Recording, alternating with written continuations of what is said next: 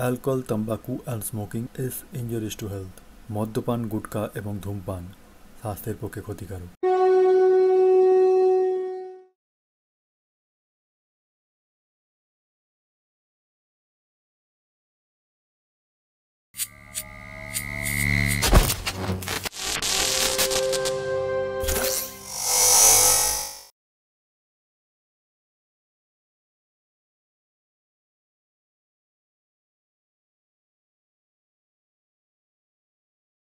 ঋষভ বাজারে যাচ্ছিস তো? দাঁড়া আমিও যাব দাঁড়া।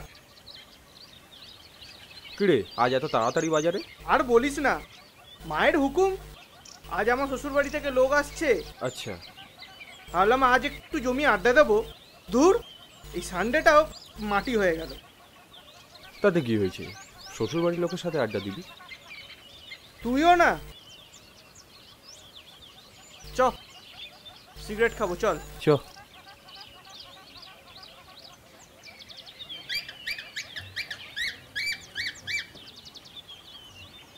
দুটো সিগারেট দে তো।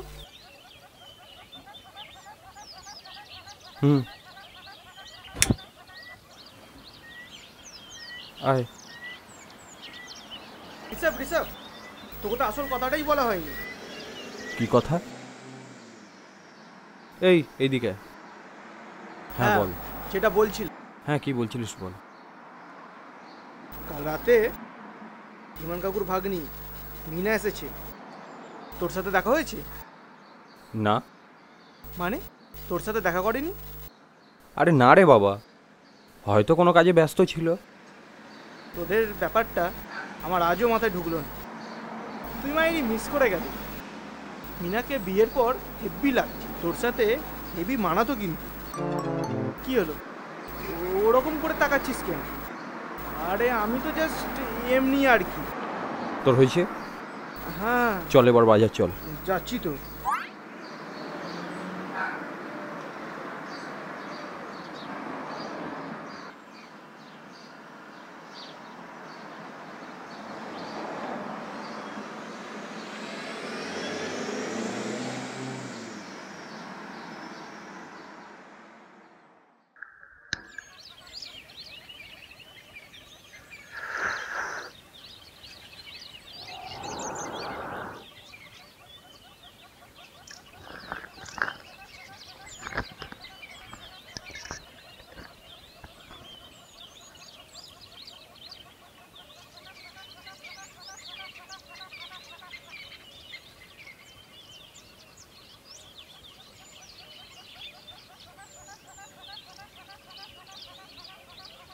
কিরে এই সময় এখানে বসে? বেরোসনি কোথাও? এই বাজার থেকে ফিরে একটু পেপারটা নিয়ে বসলাম।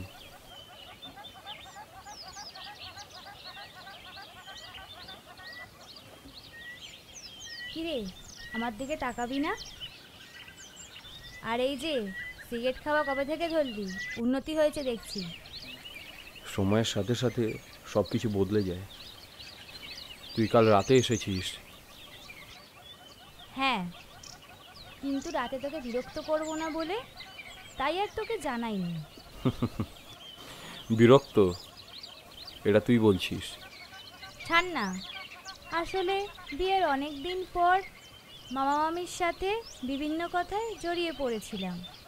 তাই আর যাইনি। সরি তুই রাগ করিস না। দু বছর তিন মাস বাদে এলি। বাবা পুরো হিসাব করে রেখেছিস?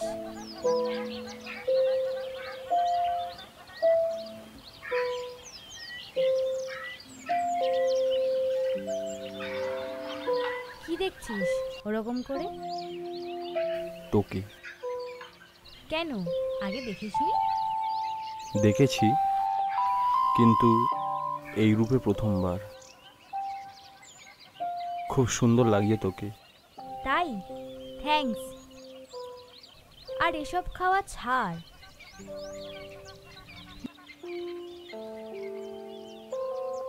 বলছি শোন না আমি যাচ্ছি। মামি হাতে হাতে একটু কাজ করে দিই আর হ্যাঁ বিকেলে কিন্তু ছাদে আসবি। আর সাথে লুডোটাও আনবি। আগের মতো তোকে হারাবো। মিনা। কি? বলছি ধীমান কাকু কালকে এটা আমাকে আনতে দিয়েছিল। তুই এটা দিয়ে দিস। তাহলে আমি আর যাব না। আচ্ছা দিয়ে দেব। তুই আগের মতন সবার সব কাজ করে দিস? হ্যাঁ এই বিল্ডিংয়ে শুধু আমি একাই রয়ে গেছি। আচ্ছা যা বিকালে দেখা হবে। যাওয়ার সময় আমি একবার কাকু কাকিমার সাথে দেখা করব। ওরা আছে তো? হ্যাঁ আছে।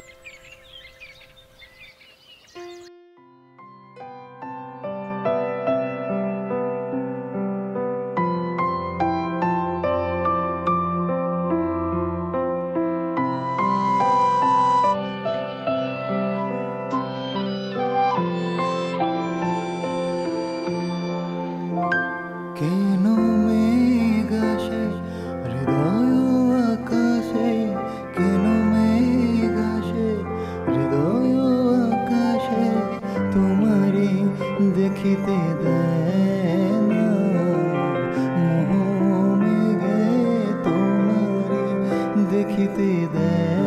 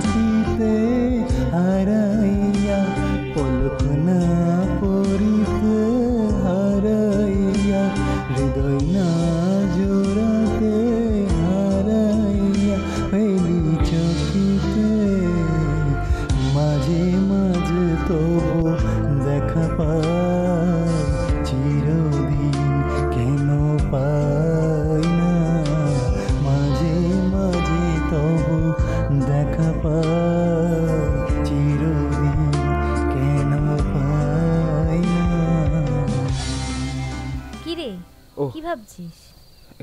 কিছু না। এনেছিস? কি? লুডো? ও হ্যাঁ ওই তো ওখানে। আয়।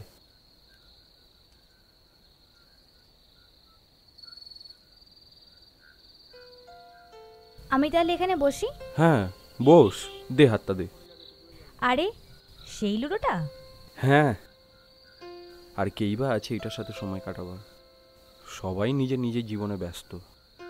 আর তোর দিদিও তো বেশি আসে না। আর যদিও বা আসে কিছুক্ষণের জন্যে।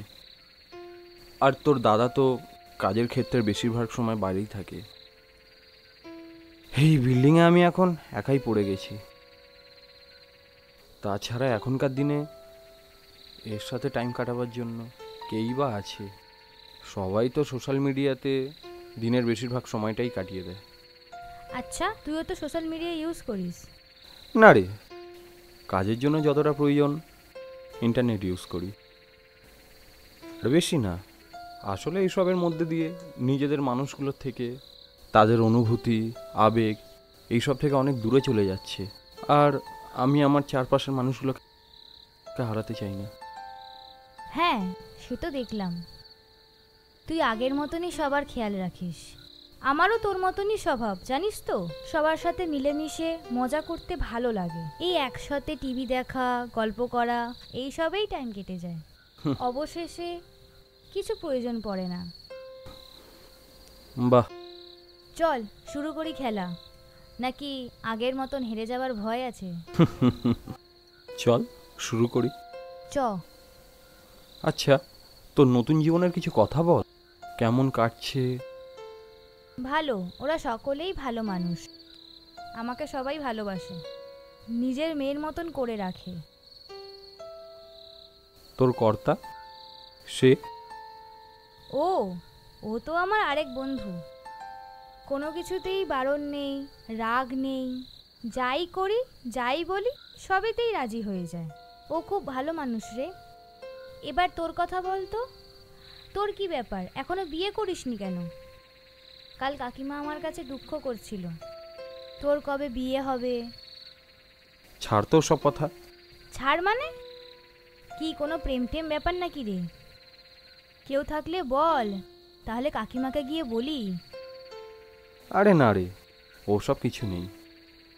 কেউ তো আছে। আমাকে বলবি না তো? তাহলে কথা নেই যা।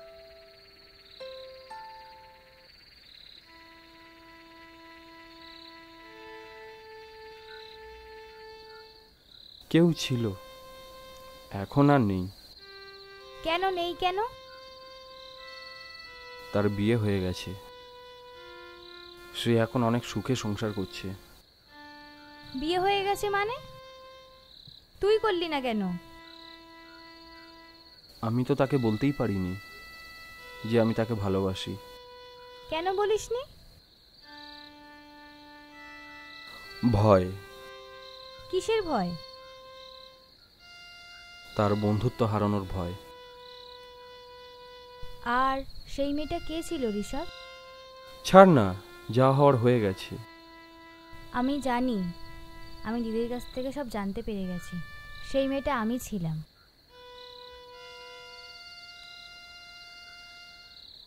আমার বিয়ের কথা শুনে তুই অনেক দুঃখ পেয়েছিলি। সেই জন্য তুই আমার বিয়েতেও আসিসনি? আমি দিদির কাছে জানতে চেয়েছি তুই বিয়েতে কেন আসিসনি? একটা কথা বলব? বল। আমিও তোকে ভালোবাসি কিন্তু সে একই ভয় আমারও ছিল।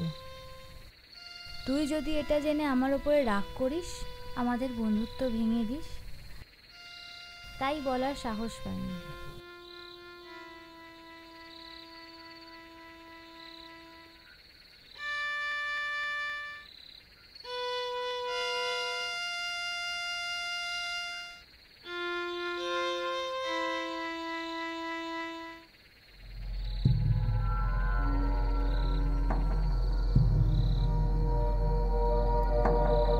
না না না। এটা ঠিক না, মিনা। এটা ঠিক নয়। তুই এখন অন্য একজনের সম্মান, বিশ্বাস, ভালোবাসা, সেটাকে আমি না না, মিনা, না। আমাদের মনের ভালোবাসাটা মনে থাকাই ভালো। যেমন আমরা বন্ধু ছিলাম, আমরা তেমনই থাকব।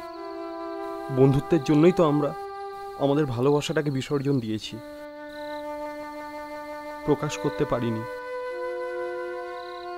সেটা আবার যেমন ছিল, তেমনই থাক। সরি। আমিও আবেগের বসে থ্যাঙ্কস রে। আমাকে সাবধান করে দেওয়ার জন্য। তোকে এই কারণের জন্যই ভালোবাসি। তবে সেটা এখন আমাদের মনের মধ্যেই সেটা আমাদের জন্যই ভালো। কেন বলতো? মানুষ যা চায় তা পায় না। হুম সেটা বড় কিছু না। বরং যা পাই সেটা নিয়ে খুশি থাকাটাই ভালো আমাদের জন্য।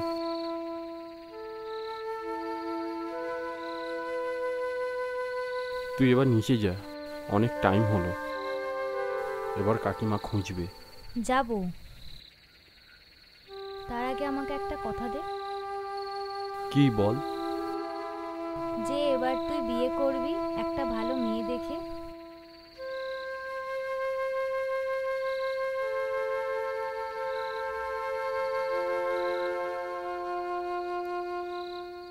কথা দিলাম।